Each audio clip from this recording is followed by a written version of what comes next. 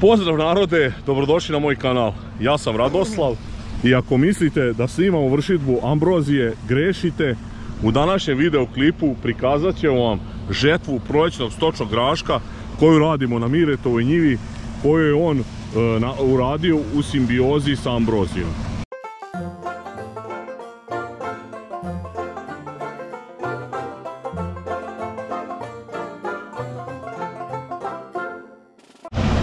Nije hteo ništa da sluša što se tiče proizvodnje ovog graška. Rekli smo mu odmah da će to biti totalni promašaj. E, najavljivali su sušno proleće, vidjeli ste da je bilo lepo posejano, čak je i jako lepo niklo, vidjet ćete sad to ovdje, prikazat ću vam sliku pored. Međutim, posle su bili očajni uslovi i ovaj grašak je totalna katastrofa, ispao posebno što nije prskan. I pre dve, tri nedelje je krenula ova neka ambrozija i evo vidite napravila je haos. U sredini je nema mnogo a u ovim krajnjim delovima njive do komšija je strašno. Mire sad to pokušava da pokupi šta ima da se spase, šta se spasiti može a Mika je stigao sa prevozom i sad ćemo čuti šta on kaže. Miko šta smo danas od prevoza doterali? Pa srušam i sa jednom zmajevkom pošto nam je druga zauzeta. Aha. A ako nestane ja ću odjuriti po žutu a na pronarke nam neće trebati. Ne. neće nam trebati. Blizu smo sela, tako da ako bude zapalilo, otići ja po žutu. A možda smo mogli ovo i dve, tri kante od Jupola nasuti Miretovo u proizvodnju. Uglavnom mi se malo šalimo na Miretov račun, ali stvarno mu je ova totalni promaš. Evo pogledajte, jeste da je suša i ogromne temperature, ali evo kukuruz je uspeo da se odmete i da je on poslušao i da je posejao normalno kukuruze ovdje imao bi nešto sigurno ovako možda će par stotina kila imati ove ovog stočnog graška i to je to. Znači totalno mu je propala godina na ovoj njivi koja je bila e, prošle godine e, lepo pripremljena i moglo se očekivati normalni prinos. Serijal ovih različitih žetvi se nastavlja, znači pored pšenice, maka, evo sada vam prikazujemo naravno ječma i ovaj stočni grašak. Vidjeli ste e, malo detalje kako je prskan. Ja sam rekao da nije prskano, nije prskano od korova, naravno prskan je ovaj stočni grašak od crva. I sada vidjeli ste kako je njiva bila potpuno čista, nije bilo travke jedne, a sada vidite ovdje koliko ima ove ambrozije i na kraju ćete vidjeti e, rezultate ovog Miretovog eksperimenta.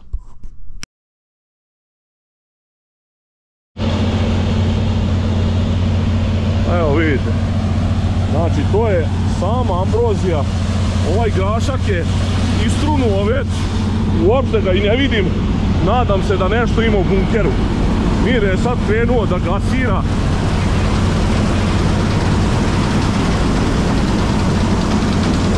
Evo vidite.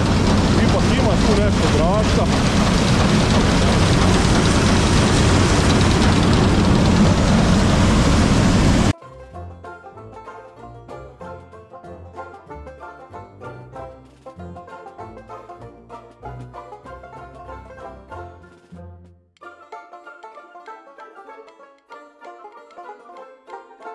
Šta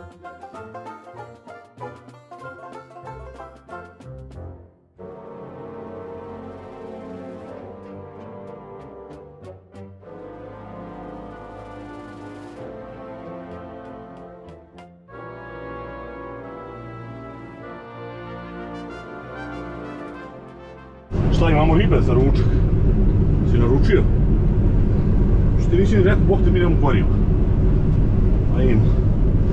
Evo, nalazim se u kombajnu sa rekorderom ove godine u proizvodnji stočnog graška.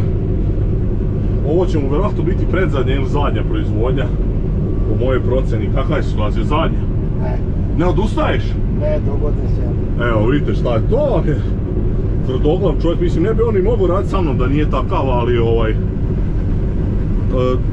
kažem vam, evo sad ovdje vidite, ovdje sad nije tako strašno prljavo, samo da je bilo malo kiše, verovatno bi ovdje bilo ipak nekog prinosa, međutim ovako nije dobro, ja sam malo zaduvao, mire, ovaj, jesi ti ovo bio malo podesi, otvorio sita i to. Ništa, evo vidite, sad ovo je redka situacija kada imamo ovakvu parložinu, pre neki dan smo u onom maku imali ambroziju ovdje kod Mireta nije baš tako strašno, ali nije ni lepa i čista njiva.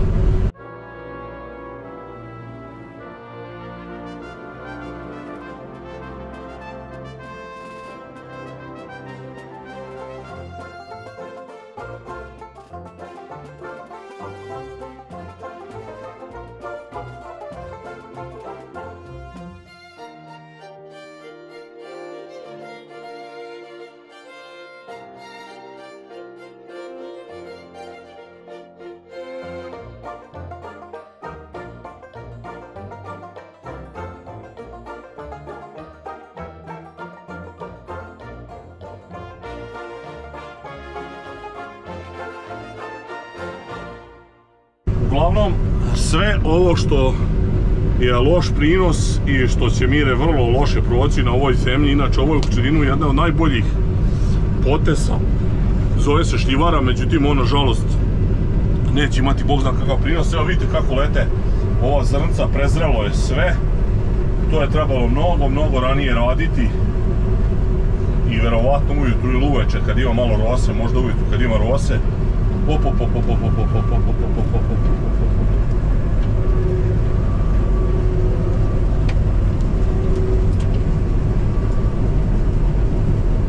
Evo vidi sad nam je namotalo. Sad odmah sam nije zapušilo. Šta? Kako ne može? Ne može samo izbaciva. Katastrofa. Evo vidite u bunkeru što je. Mjerit ćemo, Biće nešto. Nije baš, ja sam mislio da neće biti 100 kilo, bit će možda 300-400. mjerit ćemo stvar. Evo Mireći i da meni, on je zadovoljan. To je nevjerojatno skroman čovjek, evo. Pogledajte. To je zadovoljan, tako izgleda zadovoljan proizvođač stočnog graška.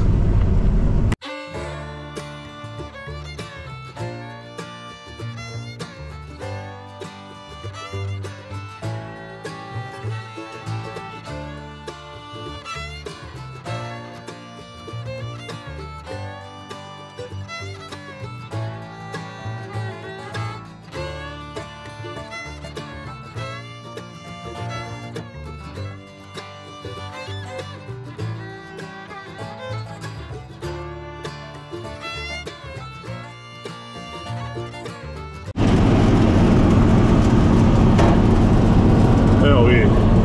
Znači stočni grašak sa primesama buba i puževa.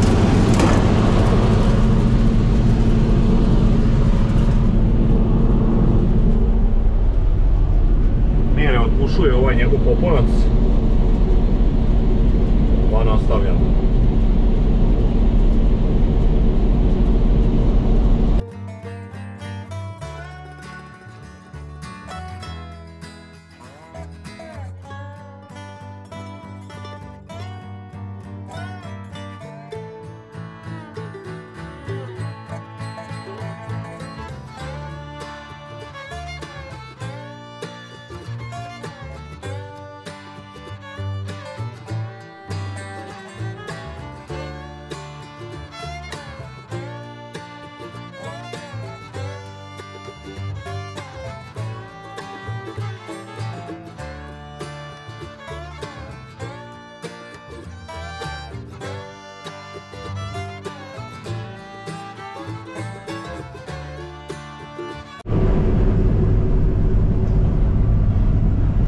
Tiče samog kombajna, e, tu nema nekih specijalnih podešavanja, gleda se da se što manje polupaju zrna, znači ovo je vam kažem sad nije normalna situacija, ali u normalnoj situaciji smanje se obrta i doba, evo Mire je smanjio na 440, E, što se tiče otvorio je korpu na, na 20 i vetar je na 900, znači vetar možda se pojača na maksimum, on pokušava da izbaci ove e, travuljinu i ovo ostalo šta ima ostatke od tog e, biljke same, od stočnog graška, teško da može njega baš da izduva, tako da može slobodno da se pojača. Donje sito je otvorio na 8, sad ne znam da li je to baš puno, ja mislim da, ja sam mislio da treba na 7, To je on. a to, je, a to su ACS podešavanja, znači on je na, na ovaj, e, sam je kompjuter podesio tako sita i tako Mire radi. Uglavnom ovaj, bilo bi zanimljivo da je ovo pravi normalan stočni grašak, da možemo da napravimo normalan video, evo kaže Mire, bit će do godine, naravno evo sad ovdje možete vidjeti koliko je ovaj istrun, on je prematorio, prezreo je, ovo je jako kasno i vjerovatno ćemo i neki procenat prosuti, ali šta je tu je, ovo je e, velika škola za u buduće, posebno što nismo imali veliko koga da pitamo, kod nas se jako redko seje ovaj stočni grašak, meni je inače ovo tek treći put da vrše stočni grašak, dva puta sam radio sa zmajem i ovo ja mislim da je prvi put sa ovim New Hollandom da radim. Uglavnom, eto, vidjet, ćete još neke detalje i snimke dronom, pa uživajte u videu.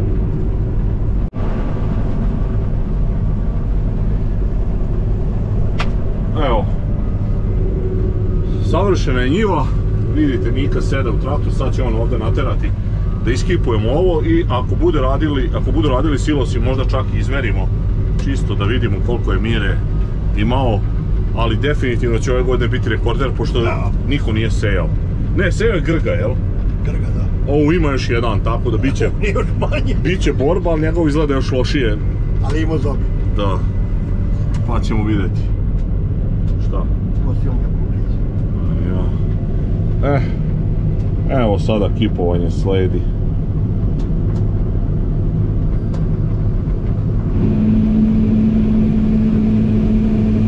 Samo ti to malo raširi. Bude krenulo ovo dok se ne osuši. Ti namjerno neš? Sad ti. Pa po patosu. Da se ne upali. Pa ne da se upali.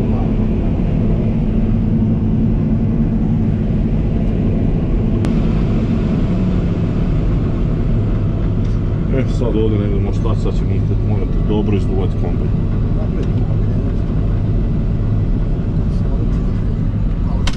Ajde.